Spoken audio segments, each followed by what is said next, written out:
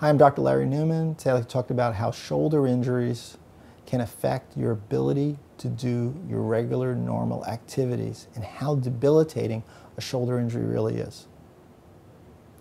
Shoulder injuries affect everything that you do in your normal day-to-day -day routine and we don't really realize or have the consciousness of what we use the shoulder for until that shoulder is injured.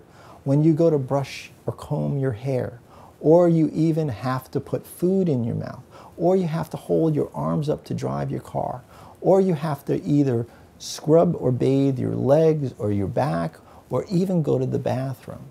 The shoulder joint is involved in all of those activities and it's involved in a way that you wouldn't realize until it gets damaged or injured.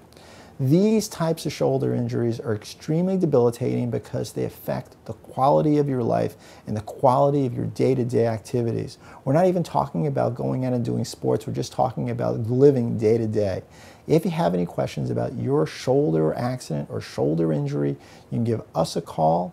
You can send us an email or go to our main website and blog. Be more than happy to answer your questions. Thank you.